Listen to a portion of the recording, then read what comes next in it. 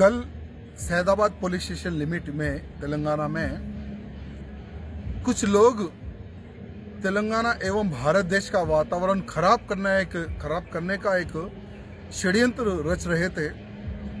एक इस्लामिक एक ऑर्गेनाइजेशन है वहादेव कुछ नाम है उस ऑर्गेनाइजेशन का और मौलाना नसरुद्दीन के कुछ रिलेटिव है उनकी कोई लड़कियाँ हैं यानी एक, एक लेडीज़ की एक टीम है। वो लोग दूसरा कार्यक्रम बोलकर पुलिस से परमिशन सैदाबाद क्षेत्र में परमिशन लिए और मीटिंग में सुप्रीम कोर्ट का जो फैसला आया अयोध्या राम मंदिर को ले लेकर, उसके खिलाफ उन्होंने मीटिंग की।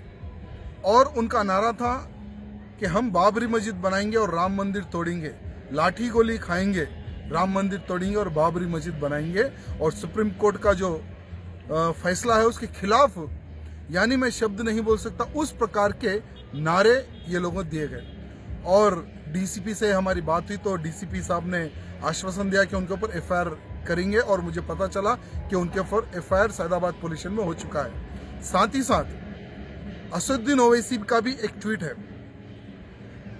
इससे पहले भी अयोध्या सुप्रीम कोर्ट फैसले के बाद में असुद्दीन ओवैसी भी एक सभा लगाकर पब्लिक को भड़काने का, उसका पूरा का पूरा प्रयत्न था।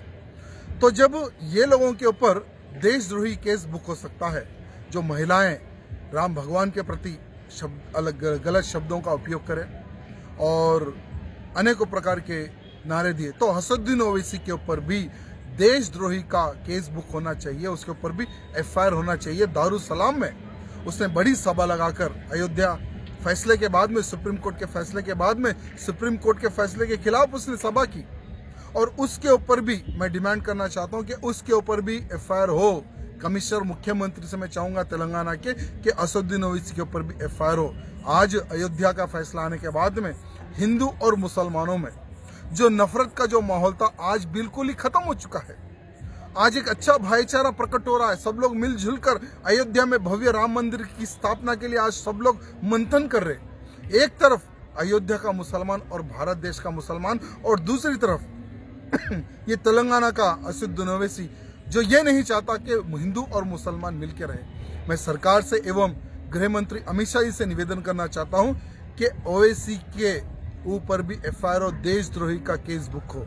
क्योंकि जब तक ओवैसी जैसे लोग भारत देश में रहेंगे, भारत देश में कभी भी हिंदू और मुसलमान मिलके नहीं रहेंगे। मैं ये सब निवेदन करना चाहता हूँ।